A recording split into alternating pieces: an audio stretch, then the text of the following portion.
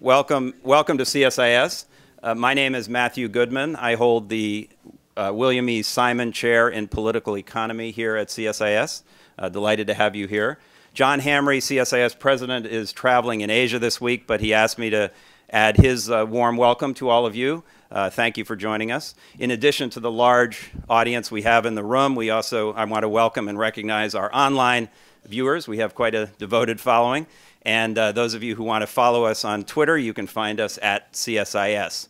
Um, Larry Summers uh, once said that he could imagine, the former U.S. Treasury Secretary, of course, uh, said that he could imagine a world, a future in which the U.S. Uh, and China are both successful, and he could imagine a future in which neither the U.S. nor China is successful, but he could not imagine a future in which one succeeds and the other fails. Um, as usual, Larry, a boss of mine twice, uh, hit the nail on the head. Uh, I think he really uh, highlighted the fact that these two uh, economies' destinies are intertwined, for better or for worse. So um, we talk in Washington a lot about when two large bodies like the United States and China converge, uh, there is naturally friction, and certainly uh, there are challenges in this relationship. Uh, and it would be foolish to deny that or not to try to take on those challenges. But it would also be foolish not to talk about the many benefits that both countries have enjoyed in this relationship uh, that has been growing uh, so dramatically over the past 30 years um, and to acknowledge the potential gains that uh, we could have uh, in our relationship going forward if we address the challenges, if we look for uh, opportunities to exploit complementarities in our economies uh, and to um, and to find areas where we can cooperate. And it's in that spirit that we're organizing this event here uh, at CSIS uh, with the um, kind and generous sponsorship of the China United States Exchange Foundation in Hong Kong. Um, we have a terrific lineup of speakers and presenters uh, to discuss and explore these issues. Uh, you have a report in front of you uh, produced by uh, the China-U.S. Uh, Exchange Foundation, which uh, covers many of these issues, and we're going to talk about that shortly. Um, let me give you a quick overview of today's events. in a moment, I will introduce um, our first speaker to make some introductory remarks. then you will hear from a distinguished a group of presenters about the report and about some of the issues that arise from it. Uh, then we will have a panel discussion uh, on these, uh, these topics, uh, followed by questions and answers. Um, and then we will take a short break and then have our two keynote presentations. Uh, and finally, uh, all of that should wrap up around 12.15, and then we will have a lunch served um, in the back, which you can all stay and enjoy. So uh, with that, uh, it gives me great pleasure to invite to the podium uh, Mr. Tung Chee Hwa, better known to most of us here as C.H. Tung, uh, who is chairman of the China-U.S. Exchange Foundation, uh, and also uh, the person responsible for the report that you have in front of you and for this, this occasion. So C.H., with no further ado, please come up.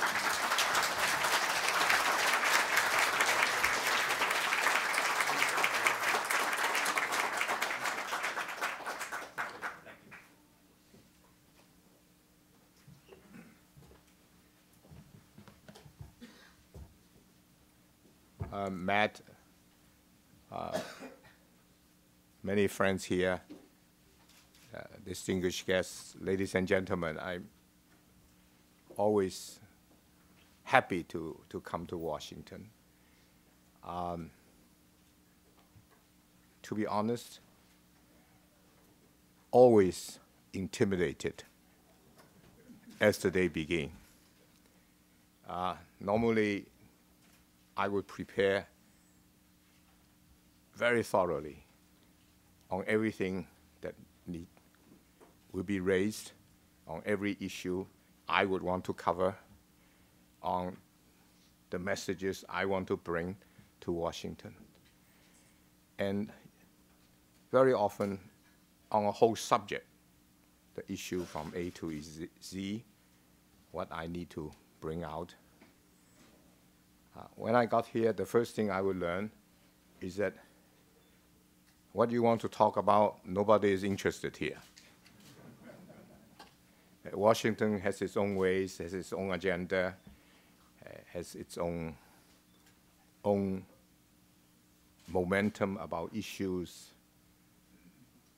and uh, so you have to, to know how when you come to Washington and get on with the things you want to get on. And it, it is really a tremendously intellectually stimulating experience to be in Washington. Uh, because you eventually, at the end of the day, you want to get through what you want to tell people. And it's a lot of hard work, my friends. But I always went away enriched. And the reason why is that you're willing to engage, you're willing to listen, you, you're eventually willing to listen, and, and uh, I would go away wiser, uh, and I hope, having listened to me, you would think this is worthwhile. So, but today I just, I came not with just by myself.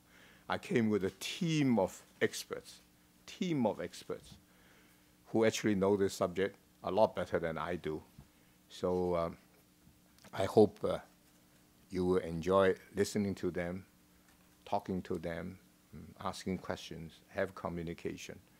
And I hope uh, we all go away uh, wealthier uh, in terms of knowing how important U.S.-China relationship has become and how important this economic relationship between the two countries is and how much it not only can help to create economic vigor, uh, economic opportunity, but also create millions and jobs for both countries.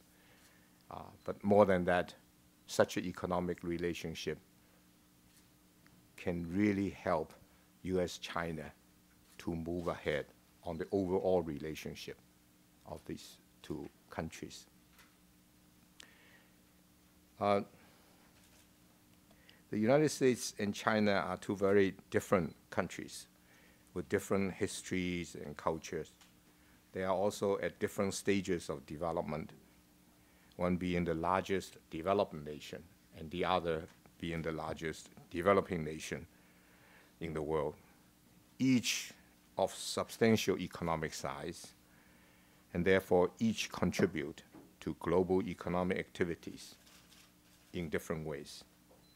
Working together, we can do more in such areas as global economic recovery and financial stability. Furthermore, US and China are the two largest trading nations in the world. Working together, we can help to further liberalize trade of goods and services around the world. The fact is, whether it is in energy security, food safe sufficiency, protection of the environment, climate change, and nuclear weapon proliferation, fighting terrorism, preventing epidemics or drug trafficking, all of these and other transnational challenges that the world faces today require multilateral efforts. But if US and China work together on any of these issues, the chances of success will be enhanced. It is for all the above reasons that from a global perspective, US-China relationship is the most important international relationship today. From a bilateral respect, uh, perspective, the economic relationship between the United States and China has developed over the past few decades from virtually non-existent. Uh, Henry Kissinger was saying to me yesterday when, when they met uh, early in 1971 uh, in Beijing, the, the, the, size of trade between China and United States uh, is smaller than the size of trade between the United States and El Salvador. And that was the relationship, uh, economic relationship at that time. But now, after a few dec decades, this relationship has developed from virtually non-existent to becoming a highly interdependent and mutually beneficial one. As the two largest trading nations in the world, they are also each other's second largest trading partners.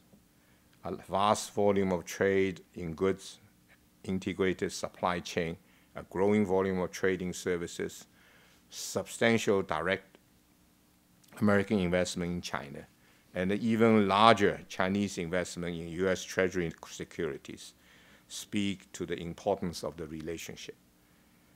On balance, the relationship is of tremendous mutual benefit. But the question we want to ask today is where is this economic relationship going in the future?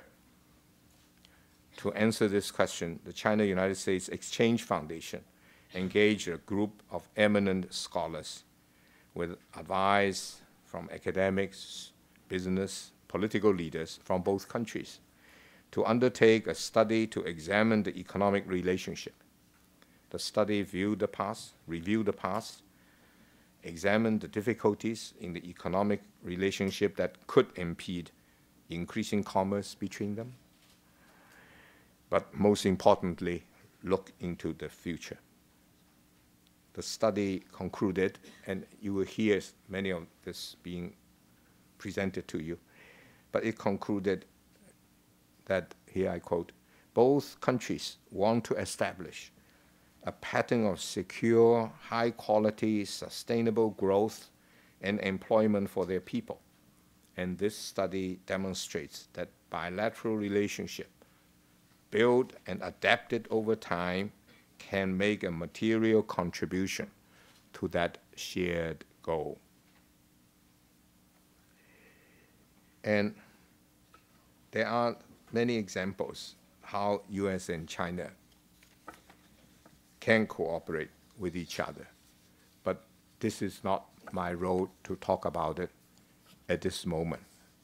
What I do want to say to you is that you will enjoy listening to the to the presentation that is going to be made to you.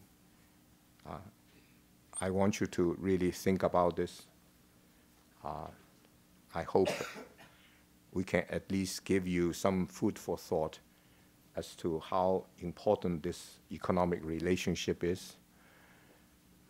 And also I want you to hopefully to think in terms of not only the, the economic opportunities and the uh, job creation that can come about because of a better relationship economically, but how this better economic relationship can make a real difference to the overall relationship of the two countries. Because that is really important, as Matt said early on. That relationship is really the most important relationship on earth. So if, um, if uh, on a multilateral basis, there's reason for us to be together. On bilateral basis, there is reason for us to be together. Uh, then there is no reason why we cannot get on with it. And uh, I look forward to, to, to be sitting down there, listening to everybody, hearing your questions. And uh, I'm sure uh, after uh, the lunch this afternoon, I will go away a wiser person uh, and uh, come back again to Washington with renewed energy to bang my head and get things happen. Thank you very much.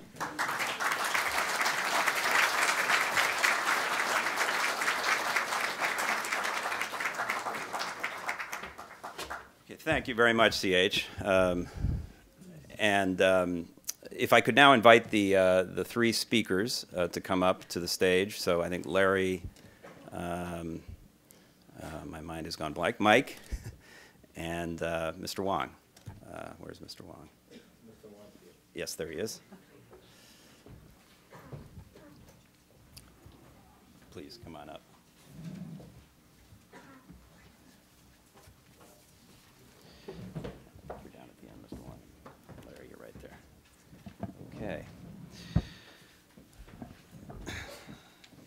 So, uh, as I mentioned and CH mentioned, um, this report that you have in front of you on U.S.-China economic relations in the next 10 years uh, was uh, produced by a, a, very distinguished group of, uh, of experts based in Hong Kong, but with some advice from, from a, a number of other uh, experts around the world. And here's a, uh, uh, the, the, the, inner core of that group who were who were responsible for, for uh, most of the hard work. And it was a lot of very hard work, believe me, um, uh, and uh, lots of late nights um, over the past year or so.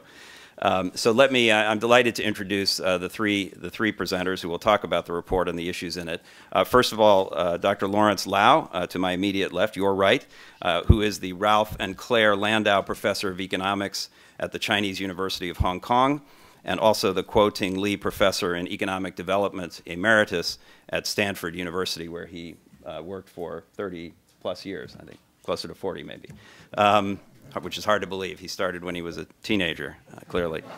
Um, uh, Larry will speak first in a moment, but let me just uh, move down the line. Uh, next to him is Michael Spence. Uh, also, I think a well-known uh, person to, to everyone here, professor of economics uh, at the Leonard N. Stern School of Business at New York University, and also recipient of the Nobel Prize in Economics in 2001. Uh, so Mike will speak uh, after Larry.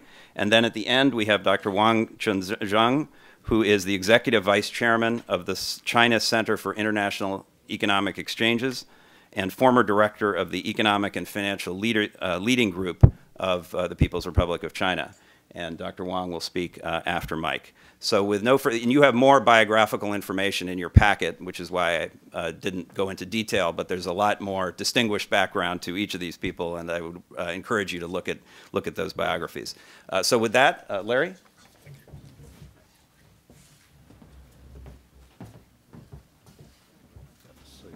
Um, thank you very much, Matt. Uh, Mr. Tung, distinguished guests, ladies and gentlemen, it's a great honor and a pleasure to be here today. Um, if I could get the uh, um, PowerPoint to work. Um,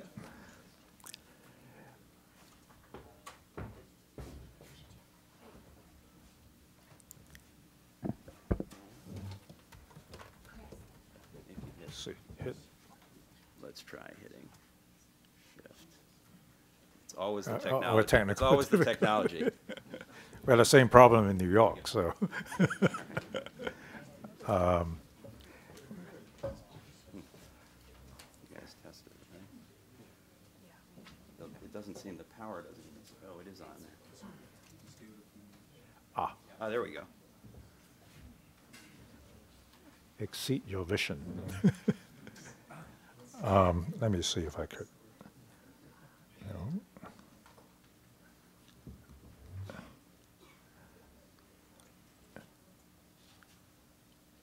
Press the, okay.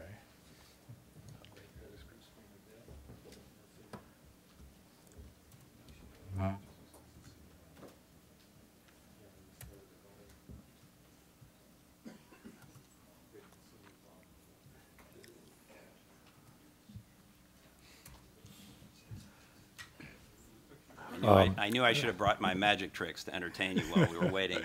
Um, uh, well, maybe first of all, let me give you a uh, overview of the study. Um, the study actually consists of two parts, part one and part two. I think you have in front of you basically part one. Uh, part two actually consists of 19 chapters on various subjects, you know, uh, authored by uh, different experts, and it is uh, it is available online, and it will be printed uh, you know, in a, in several weeks. Okay, and and everybody here, uh, you know, if you would like a, hard copy, uh, just let us know, and we'll send you uh, a hard copy. Um, basically, as Mr. Tung indicated, that uh, uh, what we like to do is not just to review what happened in the past. I mean, this is about China has actually been undertaking its reform uh, and opening to the world since 1978. Um, but uh, we, we, we, we had a review of the past, but mostly uh, we would like to focus on the future, on what the, uh, uh the two countries what uh, could, can accomplish by through cooperation. Um, so anyway, uh, let me start now. Um, I would post this PowerPoint on my webpage in a couple of days after I return to Hong Kong. But uh, it really covers uh, everything that I said here is actually in the report uh, somewhere. Um, okay. Um, the uh, I already they uh, already said that we have part one and and part two, and the focus on the future potential of uh, U.S.-China uh, cooperation. Um, well, the, uh, in this study, we have actually projected that the U.S. and Chinese economies will grow at 3%, uh, just below 3% for the U.S., and between 7 and 7.5% for China over the next uh, next decade. Um, uh, we, we, we think this you know this can be accomplished achieved by both economies. Um, in 2022, uh, our projected U.S. GDP is 21 trillion. Okay, and the, and the projected Chinese GDP would be 17 trillion, uh, both in uh, 2011. Uh, I'm sorry, 2012 prices. Um, however, uh, uh, the in terms of per capita GDP, there would still be a huge gap. Uh, projected U.S. per capita GDP would be around 63,000 dollars, and uh, for Chinese per capita GDP is 12,000. I mean, still you know less than a fifth of uh, U.S. GDP. Um, you can see here, this is basically the uh, projected U.S. Uh, and China uh, GDP in 2012. Uh, the blue line is the U.S. GDP. The red line is the Chinese GDP. And uh, it's a rapid catching up, but uh, the U.S. is still uh, going to be have a higher real GDP. Um, this is the per capita GDP forecast. Uh, you can see that there's still a huge gap, despite the fact that the uh, Chinese GDP may, may, appear to be to be growing uh, faster. Um, now, the next thing we like to talk about would be the economic complementarities that uh, both Matt and Mr. Tung mentioned. Uh, we know that the benefits of uh, economic exchange and uh, and and and the uh, interaction between two economies, they are really maximized when they are the most different. When they are the most different, okay, because then they really complement each other, and the comparative advantages uh, have the least overlap. Now, if you really look at the factor proportions uh, and compare the factor proportions of the United States and China, uh, you will find that the uh, uh China has more more people, more workers, more labor but in terms of the other uh, inputs like tangible capital, arable land, R&D uh, capital, um, the U.S. is really way ahead, uh, uh, both in absolute values, but also in terms of proportion to the uh, to the uh, working age population. In terms of human capital, which is very which is very important in the United States, the percentage of the labor force that has had college education is around 40 percent in China, it is really just approaching 10%, uh, not quite 10% at this moment. Um, uh, we believe that the United U.S. Uh, comparative advantage in intangible capital, intangible, not intangible capital, intangible capital meaning human capital and R&D capital, uh, and I think the U.S. would have a, a tremendous uh, advantage for another couple of decades at least, and perhaps uh, even longer.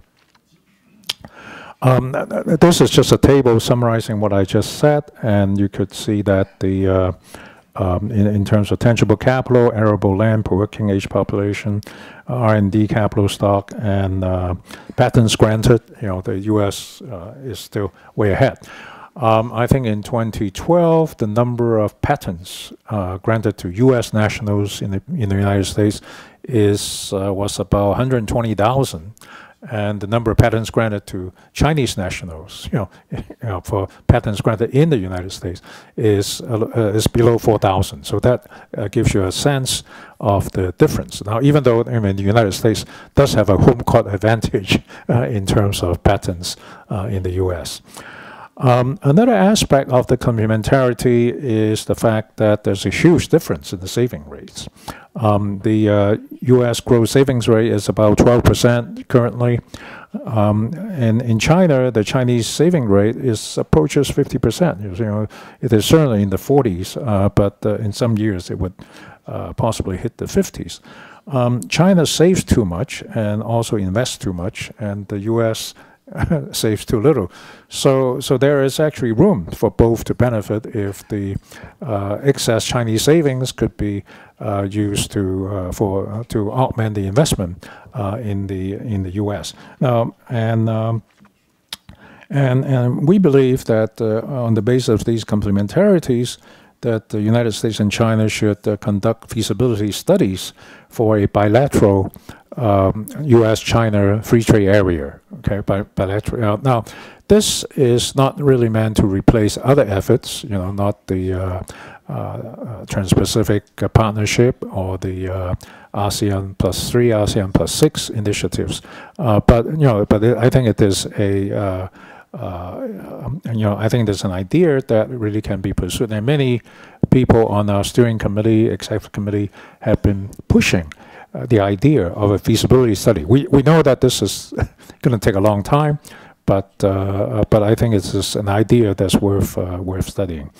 Um, the other thing that we believe that the United States and China should do is to try to conclude a bilateral investment treaty uh, you know, uh, as soon as possible, so as to facilitate two-way investment uh, uh, between the two countries. You know, not just U.S. investment to China, but also Chinese investment uh, to the U.S. Um, the uh, we believe that by 2022, the United States and China are likely to be each other's largest trading partner in in the world. Um, the uh, one of the chapters in our study is a chapter done by uh, Dr. Gary Hufbauer from the Peterson Institute, who's here today, and uh, and we have uh, these uh, trade forecasts. Um, uh, we believe that the uh, U.S. exports to China would be rise to around 530 billion uh, in 2022. Um, this is really an average of all the projections that that we have obtained from various sources. Um, this is more than three times the current value, so it's a huge increase. Um, 2022 Chinese exports to U.S. we project would be around 800, a little bit above 800 billion. Um, a, uh, but and despite the much higher rate of growth of U.S. exports of goods and services to China since 20, 2007, uh, Chinese trade surplus with the U.S. is likely to remain high in 2022. Okay, our estimate is 275 billion. Um, it is about 1.5 percent of the then Chinese GDP. Um, however, it is expected that China will run a trade deficit with the rest of the world at the time. Okay, so overall Chinese surplus uh, should be uh, less than you know one percent of GDP at that time. Um, this shows you how the uh, what the projected bilateral trade projections and um, the uh, red line is Chinese exports to the U.S. The blue line is U.S. exports to China. You can see very rapid increase in in the blue line, but uh, still, I mean, because of the differences in the base, uh, you know, the uh, deficit, uh, Chinese U.S. Uh, trade deficit vis-a-vis China would would remain uh, know, relatively high. But this shows you that the rates of growth that we use in the past, uh, as well as the projected rates of growth, you can see that since 2007, the blue columns, which indicate the uh, U.S. rates of growth, uh, grow, rates of growth of U.S. exports to China, uh, have consistently been higher than the Chinese, the rate of growth of Chinese exports to the U.S. I think I think this trend is likely to continue, and um, uh, but but despite this, uh, I think the uh, you know China we still have a trade surplus. Um, what are what are some of the impacts we look at of this trade bilateral trade on employment and GDP? Um, we we uh, we have uh, using input output tables uh, constructed both by the Chinese Academy of Sciences as well as by the Bureau of Economic Analysis of the United States. we have actually done some projections. We we believe that the the uh, okay, I guess it's, it's not quite not quite here yet. Um, this is, uh, I'm sorry, this is, uh, um, okay, the, the, the right investment actually uh, has been uh, quite, quite significant. I think it is currently running about 5 billion in both directions, okay, you know, roughly speaking, uh, current rates. Um, the stock of U.S. direct investment in China is somewhere between 54 uh, billion and 70 billion, somewhere along uh, along there. The uh, um, and then the uh, stock of U.S. Uh, Chinese direct investment in the U.S. is not quite 10 billion at this moment, but it's actually slated to grow in the future. Um, the um, the U.S. direct investment in China has been quite successful, generating almost 40 billion of annual profits, and also creating uh, about 1.8 million jobs in China. Um, the Chinese service sector is relatively mature, um, so that the there's and the U.S. has the most sophisticated uh, service sector uh, in the world, um, and uh, so there's lots of room for the U.S. to either export services to China or to invest in China in the service sector, and to help the um, actually to help China to expand its service sector, creating more jobs uh, for the uh, uh, for the Chinese. Um, the uh, uh, let me go back to this uh, impact on, on, on employment and and GDP. Um, the we projected that in 2022, U.S. exports to China will actually generate 456 billion dollars worth of value added of GDP uh, in in the United States, and this this is really about 2.2 percent of uh, the then projected U.S. GDP and we believe that it would create about two and a half million jobs uh, in in the U.S. because of this uh, uh, this trade. Um, similarly, uh, on the uh, Chinese side, um, you know, the we believe that an estimated value added of about over 500 billion, or three percent of the Chinese GDP, then Chinese GDP, and total employment of about 12 million. Okay. Um, if you think about it, these are really very large numbers, and it actually testifies to the fact that the uh, potential economic inter interdependence is really, uh, really huge for the two countries. Um, what are some potential areas of cooperation? Um, we have identified seven areas of uh, cooperation in our study. Um, this doesn't mean that there aren't others. Uh, we, just have enough uh, uh, time to take care of these seven, which we believe uh, uh, have the most promise. trade, investment in agriculture, tourism, science and technology, energy, and global sustainability. Um, the, uh, given the expected growth of Chinese economy as well as middle class uh, in the coming decade, China is likely to overtake Canada and Mexico as the United States' largest market. Um, one projection done by McKinsey uh, uh, basically uh, projects that the Chinese middle class will grow from its current 230 million to 630 million in 2022. Um, the uh, now, regardless, I mean, the spending power, the consumption power of uh, Chinese households will be increasing very dramatically uh, over this period. Um, prospects of U.S. direct investment in China are excellent. And we know that General Motors is already the market leader in the Chinese automobile industry, um, and um, the Walmart is China's largest retailer, um, and uh, McDonald's and KFC uh, Starbucks, these are all household names in China. Um, potential for these and other U.S. businesses yet to invest directly in China is actually enormous. Um, Chinese direct investment in the U.S. can also create many new jobs. I think we are just at seeing the beginning stage of this, uh, as well as the GDP. And, and I think especially if the investment is a greenfield investment, that is, you know, we have new investment creating new jobs uh, and uh, creating new uh, new value added. Um, now, one major concern of China and its people uh, are food security and food safety. Okay, yeah.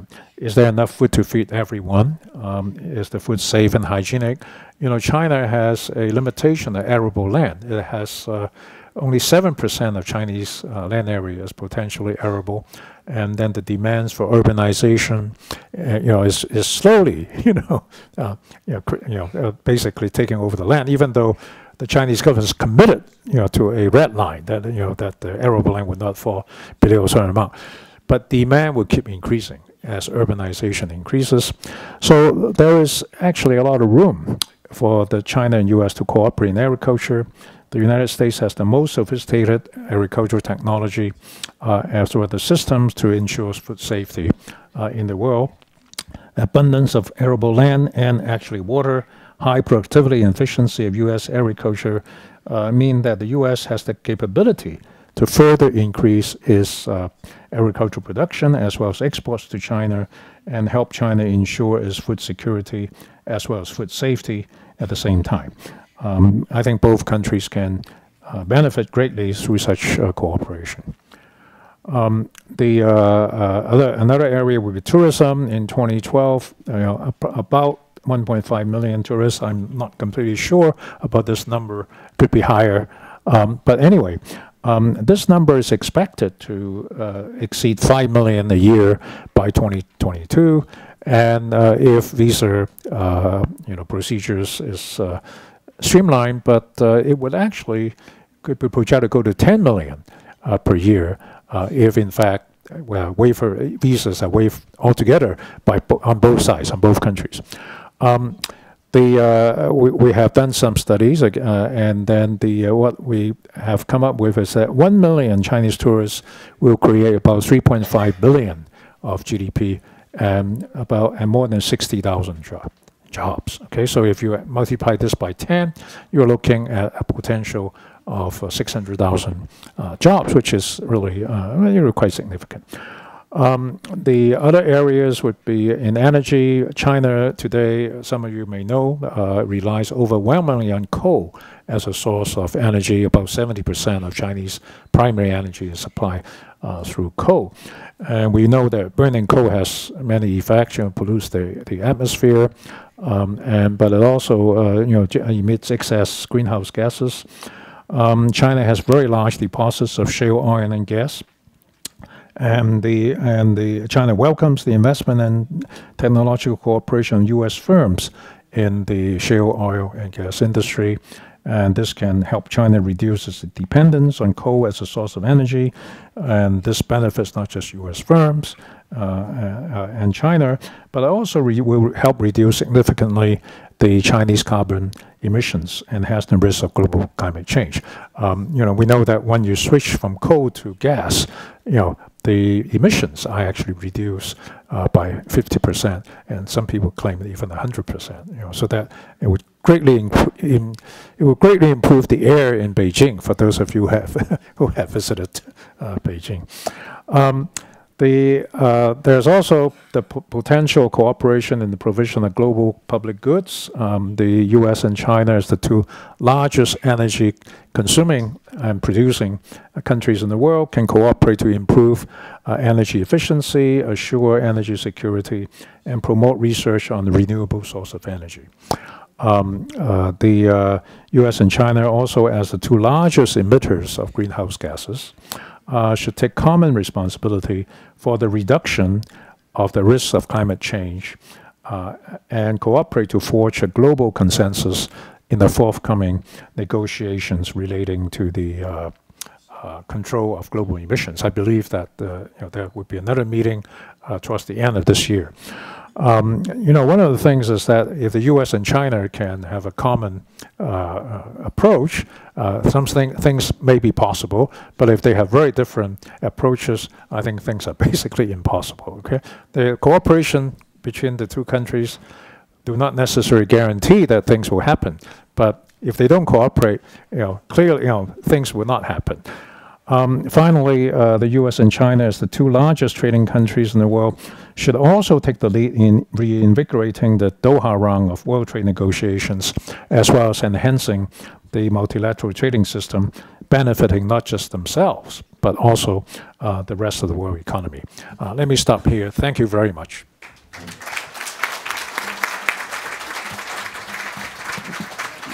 Okay, thank you very much, uh, Larry. I think uh, that gives us a very good sense of what's in the report, but I would recommend that you read it as well uh, and get, get uh, more of the color. Mike?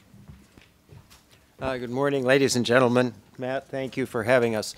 Um, My, uh, somewhere along in this process, some, some part of our team suggested that somebody ought to look at the evolution of the global economy, the Chinese economy, and the United States economy in the next 10 years, which seems like almost everything. And so somebody said, why don't we get Spence to do that? And uh, so I did. It's one of the chapters in part two. Uh, and now I have 10 minutes uh, to tell you a bit about that. And the reason we wanted to do this is that the world is changing really quite quickly around all of us. And if we're going to try to find over time, sequentially, way, ways in which we can cooperate and, and, and help each country and indeed our uh, brethren in other countries achieve their goals, then we need to have some sense uh, that's not trapped in historical reality of how this is going.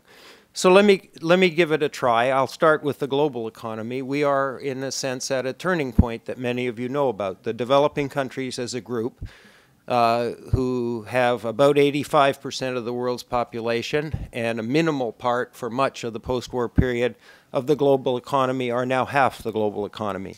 And that fraction is rising very rapidly because of a, a, a, an accelerating and spreading pattern of growth in the developing world.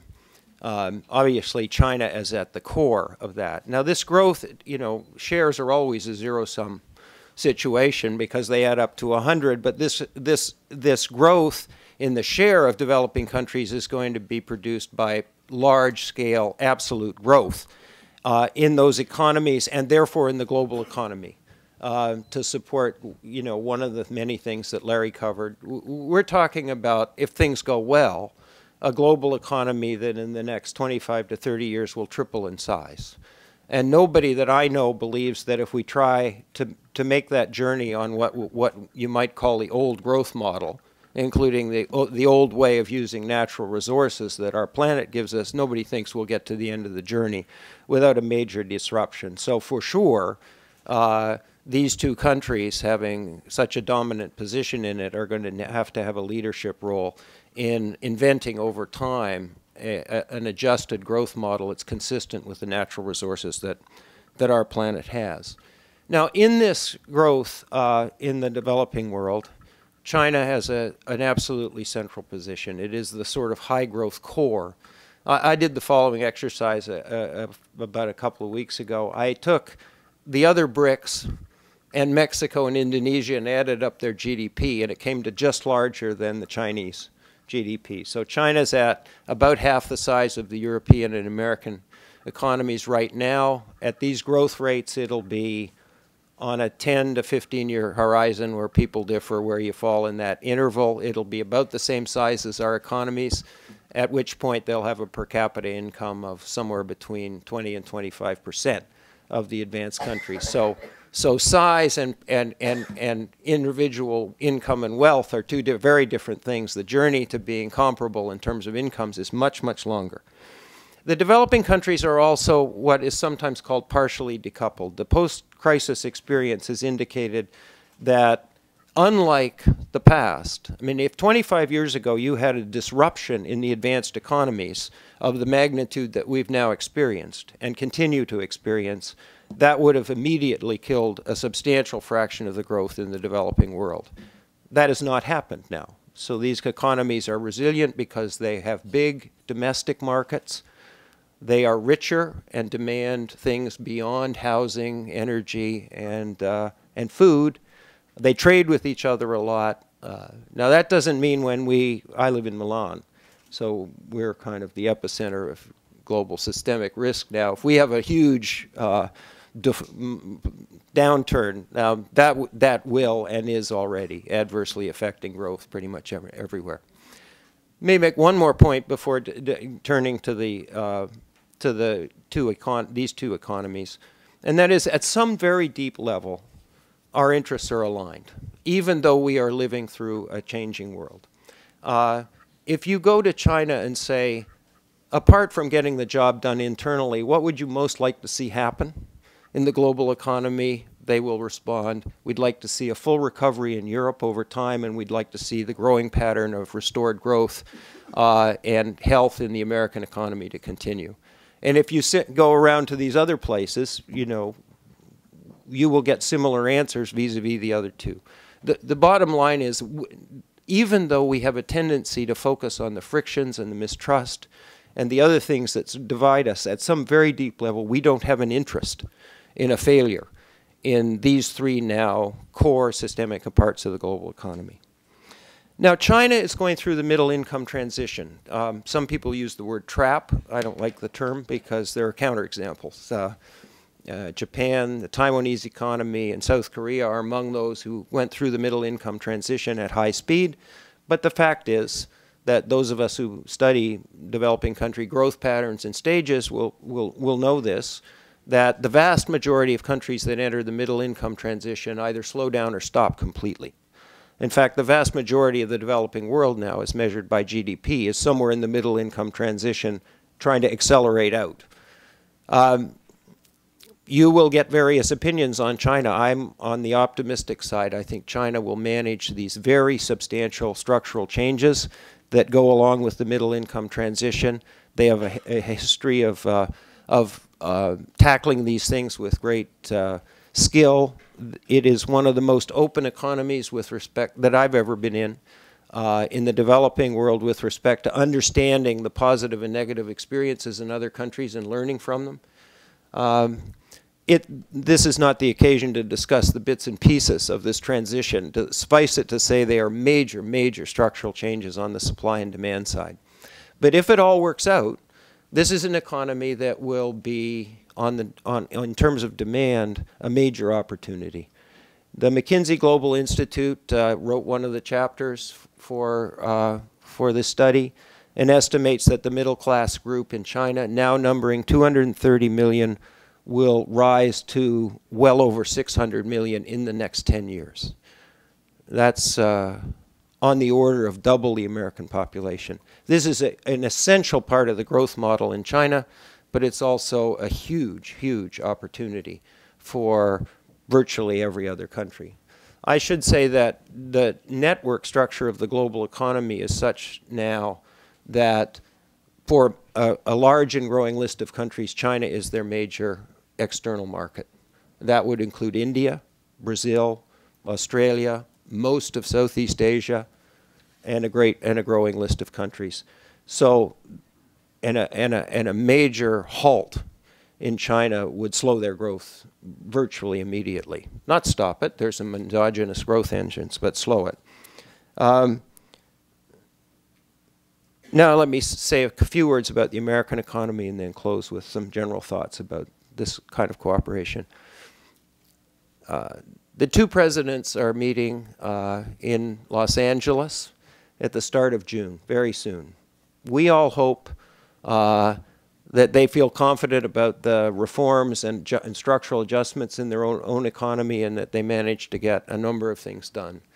One obviously will be, ad uh, be addressing the sort of inconsistencies in our system and the frictions and mistrust that result from it we all hope that they, uh, that they also address a rather more fundamental question that Henry Kissinger talked about yesterday, which is what, do, what do we want these two economies to look like and how do we want them to relate 10 years from now as a context for an ongoing process of, of the more detailed job of figuring out, uh, you know, how we cooperate. Uh, this isn't a one-shot effort. We're, we're, hoping this establishes a pattern of cooperation where we discover over time. And the last thing that we hope these two countries do is to think carefully about the roles they want to play as leaders in, in providing a global context that's stable. Now, the good news is the American economy is recovering. Uh, uh, probably much better than we ever would have thought of, even you know nine months ago. We have increased competitiveness in the tradable sector, employment and exports going there. Our deleveraging is quite far along, not complete. Uh, so the demand shock that we experienced in 2008, 2009 is starting to recede. The housing market is stabilizing, and we have the tailwinds of, uh, of renewed sources of relatively low cost and clean energy. So we're a little more confident uh, and maybe a little less inclined to focus only on our own. We have lots of issues. We are underinvesting as a country on the public sector side, and that probably won't go away soon. Uh, we have a tax system that was prominently featured on all the programs as a result of Tim Cook showing up from Apple and being grilled and winning, uh, if you saw it.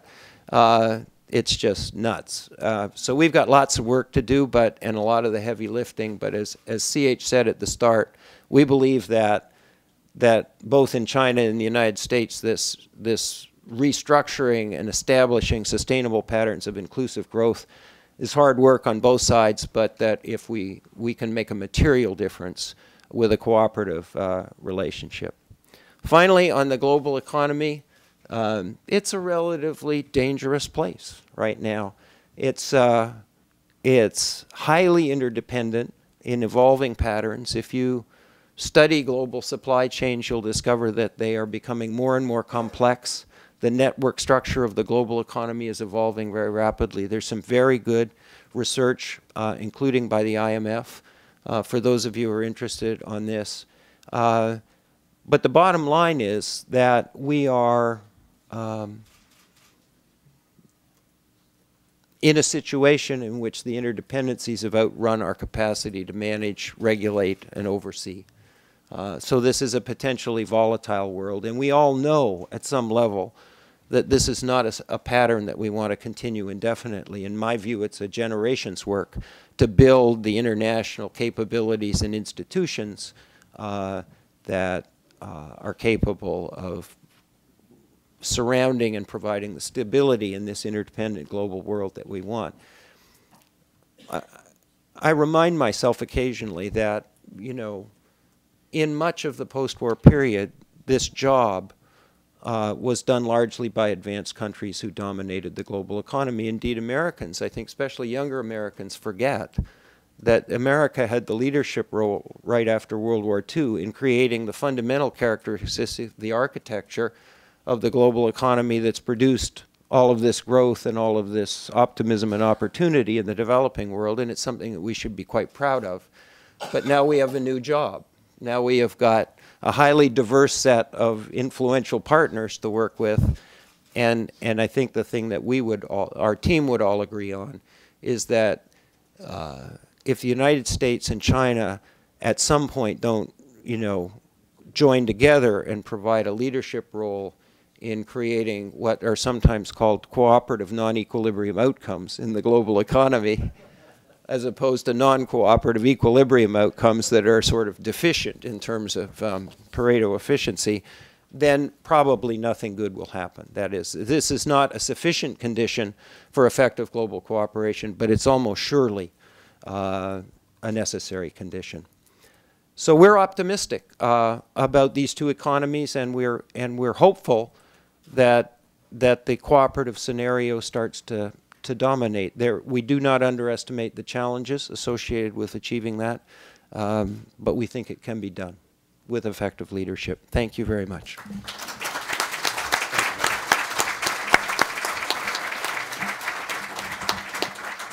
Thank you, Mike, and thanks for ending on a note of, of optimism there.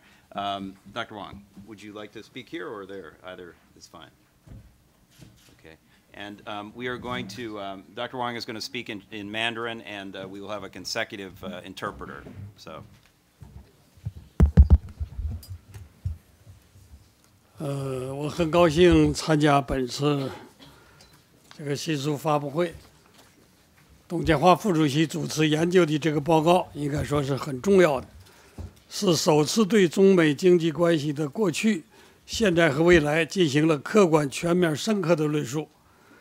昨天在纽约首先发布了，受到了各方面的好评。关于当前，啊，我的，关于当前中国经济的发展情况，特别是对未来中国经济发展的态势，很多朋友都是十分关心的。我愿意借此机会谈点自己的看法，供大家参考。I'm very happy to have the opportunity to be here today for this uh, launch of this new report. And this report is a very important report in which Chairman uh, Tung was the principal researcher. And for the first time in this report, we see a deep look at the past, present, and future uh, of US China uh, economic and trade relations, and it is objective as well as comprehensive. Uh, yesterday, um, in New York, uh, it was released and it got excellent reviews. As for the current uh, economic situation and the future economic growth posture in China. A lot of our friends have expressed a lot of interest, and that's why I'm here today to talk a little bit with you about um, a few of my thoughts on that. 首先是关于中国经济发展的走势。大家知道，过去三十多年来，中国保持了年增长率近百分之十的增长，近几年的增速有所下降。 这一方面是由于国际金融危机爆发的影响，中国经济发展的外部环境发生了变化；另一方面是中国的经济总量已经达到了相当的规模，位居世界第二，经济发展的结构性矛盾加剧，转变经济发展方式、合理调整经济结构的任务相当突出，也更加迫切了。在这种大背景下，中国政府确定了。以提高经济发展质量和效益为中心，要花大力气促进产业结构的调整和升级，增长速度也会相应放慢一些，这也是很多国家经历的过程。很多学者认为这是经济发展的必然规律，这就是结构有所改善，增速适当放慢。今年中国一季度的数据显示。中国第三第三产业的增加值增长速度已经达到了百分之八点三，比第二产业高了零点五个百分点，而第三产业的增长增增加值占 GDP 的比重已经上升到百分之四十七点八，比过去同期提高了一点六个百分点，这个趋势也符合国家的宏观调控的要求。Uh, first of all, let's look at the direction that the Chinese economy is taking. Everybody knows that in the past 30 years or so, China uh, operated at about a 10% economic growth rate. And in the past few years, that rate has been down a little bit. And uh, that is due for in part to the international financial crisis as well as the external environment, which went through some changes, and also uh, now at the same time, the economic aggregates in China have reached a point where we are the number two largest in the world. Um, so the economic development right now is in a situation where there are major structural tensions. And it's very important for us to go about transforming the way our economy is developing and to tweak the economic structure. This is right now a task and a job where we have our work cut out for us, and it's also very urgent. So, against that backdrop, the Chinese government has um, set up some goals to try to improve the quality as well as the efficiency of economic development and make that a main task. We will be working very hard to change, transform the industrial structure, um, upgrade it. Uh, in that process, the growth rate may come down a little bit. Um, a lot of countries have been through this before us, and a lot of scholars uh, think of this as sort of an unavoidable law of economic development. So, what will happen will be that uh, the, our whole structure will improve while the rate, the growth rate itself, comes down a little bit. If we look at the statistics from quarter one uh, in 2013, the value added in the tertiary industries grew at 8.3 percent which is 0.5% higher than the way the value added in secondary industries grew. And these tertiary industries value added accounted for 47.8% of GDP, which was up 1.6% year on year from last year. And this is a trend that's positive and that also is in keeping with our macroeconomic regulatory goals.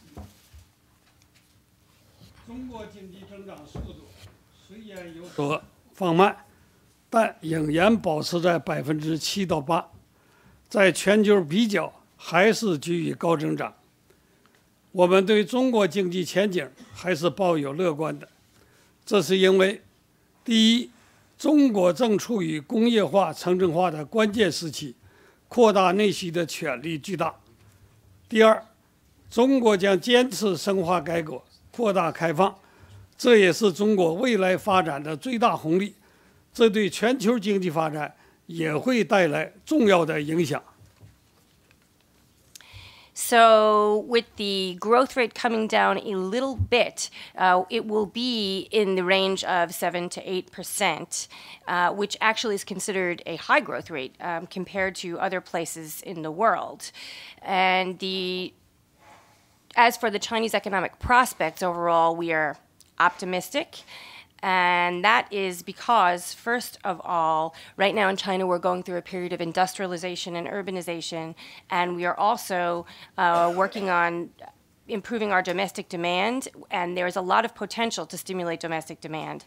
So the second reason is that uh, we are committed to uh, deepening our reforms, opening up further, and uh, this will bring about a lot of dividends. And these dividends will bring a lot of good things to everyone in the world. 当然，中国经济发展还面临一些挑战和风险，但总的看还是处于风险完全可控的状态。大家最关心的是中国的债务问题。据公开发表的数据，截止到目前，中国各级政府的债务总量共有三十多万亿人民币。 占国内生产总值的比重仅为百分之六十左右，而且内债占到整个债务总量的百分之九十五以上，政府的债务风险完全可控。从长期看，中国在深化改革中要不断的完善财税体制、金融体制，特别是对债务危机和金融风险，我们一直有很强的防范意识，对面临的矛盾问题。我们绝不会掉以轻心。Of course, uh, we do face challenges and we do face risks, but um, we do think that, that the risks that we're facing are controllable uh, entirely. And everybody is very interested to uh, and is very concerned with the debt issue in China. According to uh, statistics in the public domain, uh, as of this point in time, general government debt, the government debt at all levels added together in China, is a little bit over 30 trillion RMB, uh, which accounts, and and that. Uh, that accounts for about 60% of our GDP. And of that debt, 95% of it uh, is domestic debt, internal debt.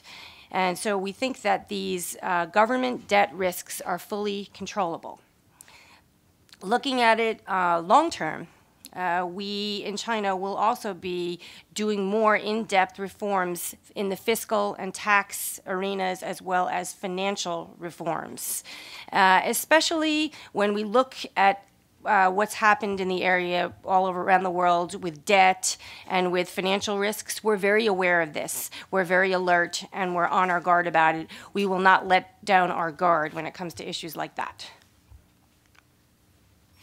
各位女士、各位先生，中国是世界大家庭的重要成员，也是美国最为重要的贸易伙伴之一。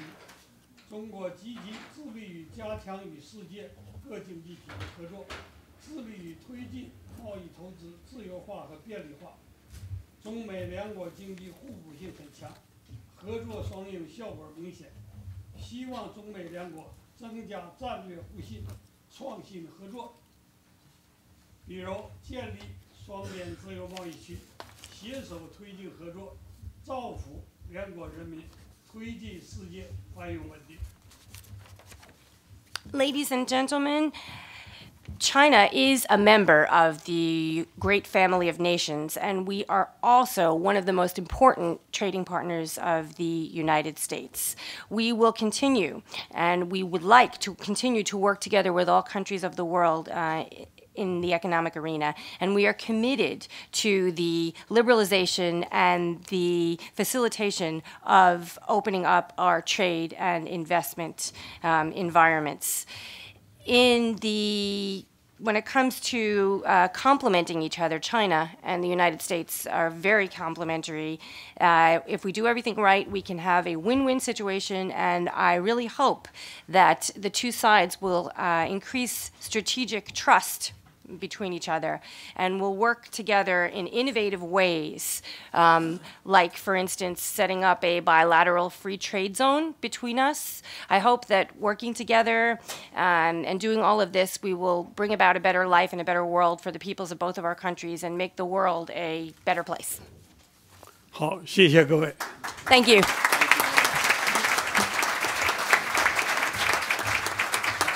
Thank you, Dr. Wang, and thank you, Vicky, for that uh, interpretation.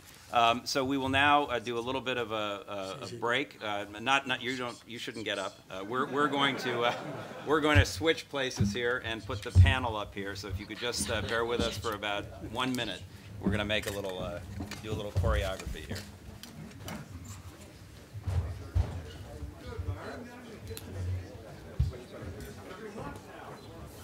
You are welcome at any time to get coffee in the back, but please don't go anywhere because we're going to go.